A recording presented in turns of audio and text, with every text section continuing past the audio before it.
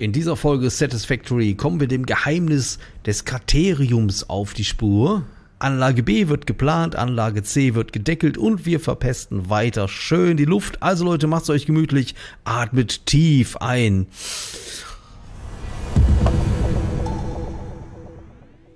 La la la la la la la la. Okay, ich höre schon auf zu singen. Keine Sorge. Hey ho. ah, ich bin der Vorbudler vom Minenarbeit-Kanal auf YouTube und ich spiele hier wieder eine Runde Fabrifriedigend für euch. Mit euch möglichst. Bleibt schön dabei. Vielen Dank übrigens auch fürs Einschalten und überhaupt mal wieder der Dank an euch für die Unterstützung bei dieser Staffel die ja für viele von euch vielleicht auch Liebe auf den zweiten Blick war. Ich verstehe das manchmal gar nicht so wirklich. Äh, ich suche hier gerade mal eine Stelle. Moment, jetzt gucken wir mal. Haben wir noch Beton dabei? Ne, Beton haben wir, doch, Beton haben wir noch dabei. Aber ja gut, dann mache ich die Reihe mal eben komplett. Kommt, Kinders, eins am anderen. Nicht so durcheinander direkt wieder. Ich wollte hier nur kurz die Reihe draufsetzen. Äh, silberne Wand. Wir sprachen schon davon. Und dann suche ich da oben einen Ausgang. Ja, und die Liebe auf den zweiten Blick, die verstehe ich nicht so wirklich. Ich weiß nicht, Leute, lebt ihr unterm Stein oder was ist los? Ne? nee, äh, Satisfactory hatte ich wirklich schon, bevor es in den Early Access kam, mehr als ein Jahr auf dem Schirm. Ich habe ich damals, ich weiß nicht, im Frühjahr 2018 muss das irgendwo gewesen sein oder irgendwann. Irgendwie, irgendwo, irgendwann, ja tralala. Äh, tatsächlich, ja, eine blöde Stelle hier, um rauszukommen. Moment, da müssen wir erstmal. Ja, ist doch wie so ein Hügel im Weg. Komm, machen wir hier. Hier vielleicht. Dann betonieren wir hier alles voll und dann ist das gut. Nee, pass mal auf. Das war im Frühjahr 2018, glaube ich. Auch war das die E3-Messe oder so in Amerika? Ich weiß das nicht mehr. Ich weiß es nicht mehr. Auf jeden Fall bei irgendeiner Veranstaltung habe ich von Satisfactory gehört, die ersten Bilder gesehen, das Konzept erfahren und war sofort Feuer und Flamme. Ich habe mir sofort ohne jegliches Zögern aufgeschrieben, als das Spiel für uns Minenarbeiter. Äh, für alle, die sich für Maschinen, für Abläufe, Wirtschaftssimulation, für Aufbausimulation, Open World, Minecraft, alles interessieren. Das absolut geniale Spiel. Ne? Und war für mich gar keine Frage. Ich habe dann auch wirklich die Entwicklung. Wo ist meine Farbpistole? Pistole? Pastole? So, was habe ich denn gerade eigentlich drauf? Ich glaube. Äh, wo sind denn meine ganzen... Ah, nein!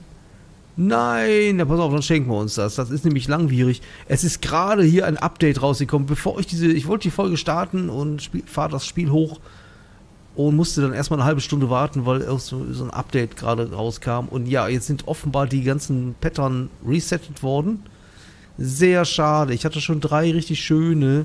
Und es gibt leider auch keine Pipette, wo man sich das jetzt irgendwie so abgreifen kann hier wieder.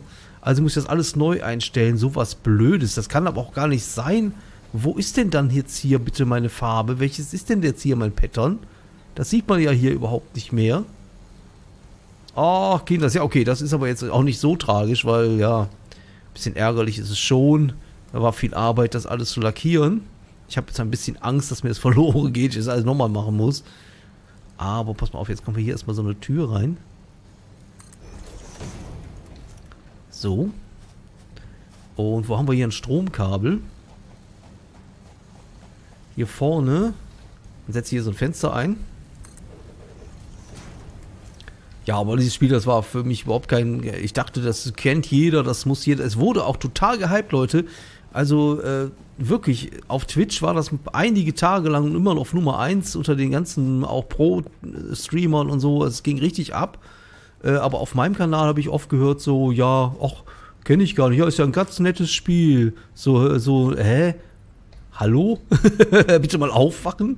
Ne, also, für mich ist das jetzt schon, also seit der, seitdem ich das erste Mal gespielt habe, schon das beste Spiel im Jahr 2019. Ne? Also allein weil man hier so tolle Stromkabel ziehen kann durch die ganze Natur. Was mache ich überhaupt? Ihr könnt ihr euch nicht erinnern, Leute. Habt ihr wieder nicht aufgepasst? Ich muss heute wirklich mal ein bisschen mit euch meckern. Ihr Schlafmützigen. Äh, nein, alles gut. Ich hab euch lieb. Ja, alles gut. Ne, aber wir haben hier oben ein Wrack stehen. Das hab ich auch lieb. Und da wollte ich mal Strom anschließen. um das öffnen zu können, denn äh, wir kriegen eine Belohnung. Wir haben das bei der letzten Folge schon gemacht und ich habe auch inzwischen von der Mam das Ergebnis bekommen. Wir kriegen also ja, so Alternativrezepte, von denen ich jetzt noch nicht weiß, ob ich sie jetzt im Moment im Spiel schon überhaupt gebrauchen kann. So, jetzt haben wir schon angeschlossen. Öffnen wir das Teil auch nochmal. Ja, ja. So. Da sind Festplatten drin mit wichtigen Informationen. Und den Sums, den reiße ich wieder ab. Das ist ja hässlich hier draußen, solche Stromkabel stehen zu haben. So. Dann kann ich da eigentlich auch die Fabrik wieder zumachen. Das kann ich jetzt auch so lassen. Ist auch egal. Haben wir mal auch ein bisschen Tageslicht da drin. Denn da soll jetzt ja auch noch ein Deckel drauf. Auf die Fabrikhalle. Ah, das mit den Farben finde ich jetzt echt doof. Jetzt, wo ich drüber nachdenke, ist das jetzt hier wirklich... Ist echt weg, ne? Die ist, glaube ich, noch so... Nee, das sind alles wieder die normalen Farben. Das ist die Standardfarbe. Und ich habe das zweite und dritte Pattern immer benutzt. Ah, wenn ich mir Mühe gebe, äh, fallen mir wahrscheinlich die Farbwerte nochmal ein. So, aber das Teil legen wir jetzt weg, damit wir uns da gar nicht mehr mit befassen müssen. Und können dann mal anfangen, hier oben schon mal ein Dach drauf zu tun.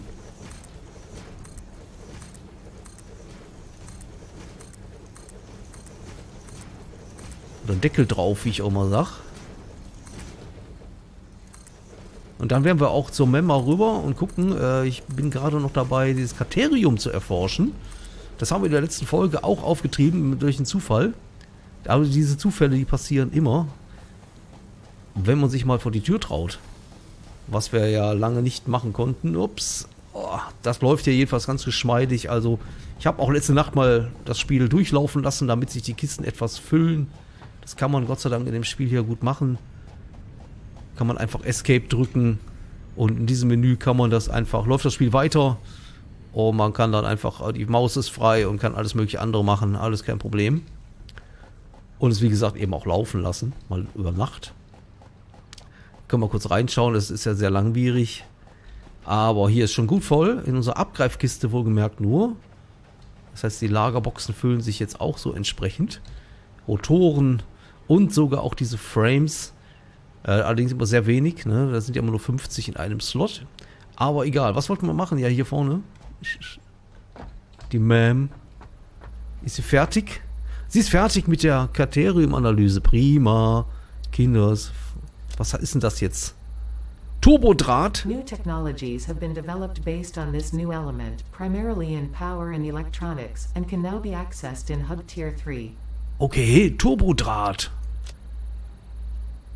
100 Stück zum Erforschen. Wow, ja, cool. Äh, haben wir vielleicht zufällig noch was?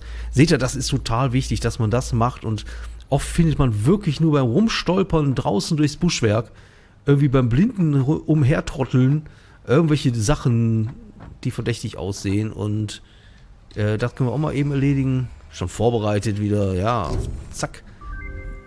Logistik-Mod 3 jetzt endlich bald sind wir ganz durch mit dem Zeug, was ich erstmal hier habe.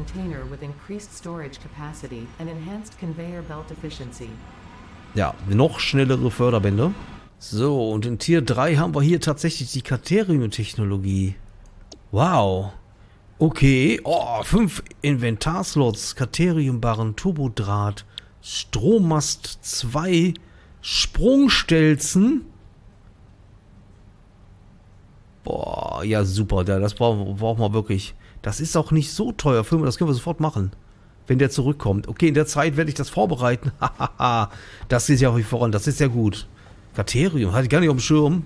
Wollte heute eigentlich Anlage B bauen. gut, machen wir das beim nächsten Mal, Kinders. Ne? Wir fahren jetzt erstmal raus, noch ein bisschen durch die Gegend trotteln und mal sehen, ob ihr euch daran erinnert. Kennt ihr den Weg noch? zum äh, Katerium-Vorkommen, wo wir das gefunden haben beim letzten Mal. Klar, wir fahren bisher immer hier raus, das ist schon mal ganz einfach. Wir müssen dringend auch mal die, auf die andere Seite, wo ich schon mal einen äh, Ausflug gemacht habe. Da finden wir auch nochmal gute Sachen. Aber als am anderen, das überschlägt sich hier mal alles. Man hat so viel zu tun, das ist herrlich, echt. Manchmal kann man sich, macht man eine Pause und schaut sich einfach mal eine halbe Stunde so eine Maschine an, wie die arbeitet. Das ist wunderschön, sehr beruhigend. Na, wisst ihr, wo es, wo es lang geht? Ja, genau, hier rechts lang. Ist alles mehr oder weniger um, um die Ecke, ganz einfach, wenn man den Weg kennt. hier an dem Un Unhold da vorne, ja, da müssen wir uns irgendwie vorbeischleichen. Ja, der ist immer in der Höhle. Ich glaube, der macht uns jetzt kein Problem, wenn wir hier lang fahren. Aber das möchte ich jetzt vorbereiten, dass wir da schon mal eine Mine draufstellen und einen Container. Irgendwie da noch Stromanschluss ziehen. Und dann irgendwie kann ich mal gucken, dass ich das Förderband nach Hause bekomme. So, jetzt geht es hier links den Hang hoch. Wo war das? Hier, genau.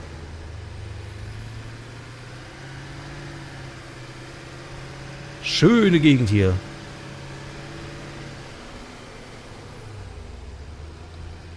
Ja, pass auf, bleib du mal ruhig hier stehen. Dass du mir nicht im Weg rumstehst. So, das holt mir das Bärchen. Muss ja sein.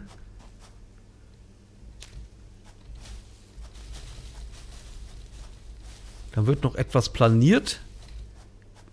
So, und dann stellen wir hier vorne nämlich auf jeden Fall mal... Was ist unsere Richtung? Wo ist unsere Base? Da hinten. Ja, klar. Wo ist unsere Base? Äh okay, äh, sieht man ja doch sehr deutlich. Den brauchen wir auch demnächst wieder. Den müssen wir bestücken, um weitere Tiers freizuschalten. Äh, frei ich denke mal, so ist die Richtung ganz nett. Und dann werden wir hier vorher noch einen schönen Container stellen. Wir hätten jetzt die Möglichkeit, große Lagercontainer zu bauen. Das sind äh, diese hier. Allerdings die sind sehr teuer, da brauchen wir diese Stahlträger und Stahlrohre für. Äh, das muss ich jetzt alles noch von Hand craften, habe ich jetzt auf die Schnelle keine Lust drauf gehabt, machen wir dann später noch, auf jeden Fall. Dann ist sowieso jetzt das nächste, was kommt, die Stahlproduktion. Und dafür eben Anlage B. Ich denke mal, das ist jetzt hier noch völlig egal, wie wir den hinstellen. Das mache ich zwar ungern, ihr merkt das, mein Zögern im Handeln. Ich möchte hier immer alles direkt schön haben, aber man kann nicht alles haben. So, pass auf, der wird dann schon mal... Der wird dann schon mal bestückt. Äh, warum hänge ich denn hier so fest? Was ist denn hier überhaupt? Und ich kann euch auch noch eines verraten. ich habe mir inzwischen so einen kleinen Echsenhund gezähmt. Ich weiß jetzt, wie das geht. Und äh, ja, auch mit den Bären, wie ich schon vermutet hatte. Das ist hier... Ach, wir sind oberhalb unserer Kohlemine, oder was? Moment mal. Ja klar, da ist die Kohlenmine. Ja, genau. Ach, so seitlich darüber sind wir. Ah, super hier. Ah, so kommt man also nach oben. Das ist ja gut zu wissen. Ah, ja, okay. Dann können wir im Grunde da hinten mit dem Fließband lang.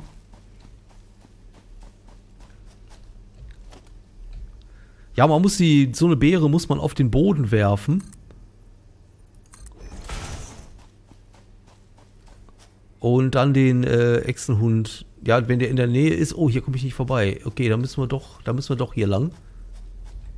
Wenn der Echsenhund dann in der Nähe rumschleicht, wird er sich nähern. Und sobald er die Beere genommen hat, kann man ihn auch nochmal anfassen und dann ist er gezähmt. Und äh, das ist ziemlich lustig. Der rennt einem immer hinterher. Aber ich habe ihn abgehängt. ist das da vorne eine Schnecke? Das ist da vorne eine Schnecke. Ja, super. Pass mal auf. Jetzt pass aber auch mal auf. Jetzt laufen wir nämlich einfach über das Fließband darunter. Und dann schnappen wir uns die. Wollt ihr sowieso hin? Und ihr wisst ja, die Minenarbeiter Maxime Nummer 2 ist das, ne? Beim Schnecken, bei der Sichtung von einer Schnecke sofort alles stehen und liegen lassen. So, jetzt wird es aber echt hoch hier, glaube ich. Dann versuche ich mal hier schon mal leicht etwas an Höhe wegzunehmen. Mal schauen, ob es klappt. Ja, das klappt gerade noch. Und dann setzen wir da unten mal irgendwie einen Fördermast hin, aber ihn kann ich jetzt nicht erkennen. Eilt ja jetzt auch nicht so. Äh, Strom ist sowieso wichtiger. Sollten wir erstmal den Strom machen. Auch in die Richtung weg.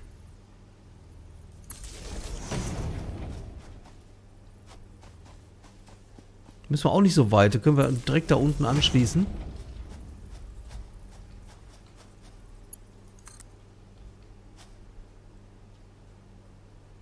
Stelle ich da schön an den Rand. So, und jetzt fahren wir nach unten. Und ich denke mal von unten... Oh, da ist schon wieder eine Schnecke. Gibt's doch nicht. So mache ich das. Vielleicht kann ich mir jetzt hier sogar eine Rampe drauf bauen. Schauen wir mal, ob das, ob ich genug Material habe. Reißen wir alles später wieder ab. So. Was für ein Aufwand für so eine komische Schnecke. Ja, aber die sind sehr praktisch. Ich habe auch schon mit rumgespielt jetzt, um äh, 100% Effizienz rauszuschlagen aus meinen Manufaktoren. Äh, komm. Ja. Wie das mit der Effizienz zu machen ist, äh, werden wir uns dann auch später nochmal angucken. Ist jetzt nicht so nötig. Jetzt werden wir erstmal dieses Projekt hier beenden und die Katerium-Mine ans Laufen bringen. So, und hier ungefähr müsste es sein. Hier kann ich, glaube ich, mal parken.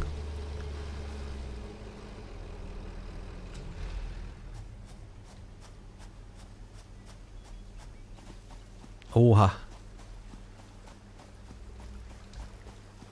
Ja.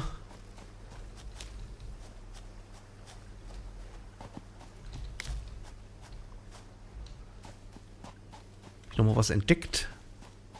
Das ist aber, glaube ich, nur Kalkstein. Schwefel! Schwefel, Kinders! Wir haben schon wieder was entdeckt. Das ist doch nicht die... Das ist ja Wahnsinn. Schwefel. Okay, das reicht vielleicht auch erstmal, um es zu untersuchen. Das war auch irgendwie alles. Aber wie vorherragend ist das denn? Ungültiges Ziel. Warum? Vielleicht bis hier irgendwo auf den Stein darunter. Oh, ja, ja, ja. Hier muss ich ganz schön, ganz schön fummeln. Das ist mir auch gerade nicht so geheuer. Ich werde mich mal lieber bewaffnen. Gucke ich, ob ich hier mal auf diesen Felsen komme. Jux.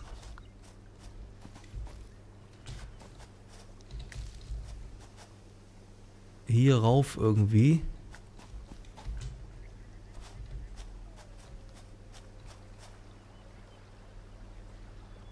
Ganz schön unheimlich hier. Ja, hier komme ich ja... Ach, hier komme ich natürlich nicht wirklich... Pass auf, ich versuche mal den, das Förderband da oben anzubringen. Oh, Sonne, danke. Okay, so geht's nicht. Das ist aber jetzt auch kein weiteres Problem. Wir wollen das ja eh nur zum Sammeln erstmal haben. Ich denke mal, mit dem Strom komme ich eher mal hier runter. Na also. Dann können wir nämlich das Ding schon mal anschließen. Und damit läuft die Chose schon mal. So, da müsste dann da oben die Mine die Arbeit aufnehmen. Ich denke mal schon, dass das kein Problem ist. Um das Förderband werde ich mich dann in Ruhe kümmern, kein Problem. Jedenfalls können wir jetzt schon mal das Lager da oben volllaufen lassen und haben dann schon mal etwas Reserve. Wir fahren jetzt allerdings natürlich sofort zurück und erforschen Schwefel.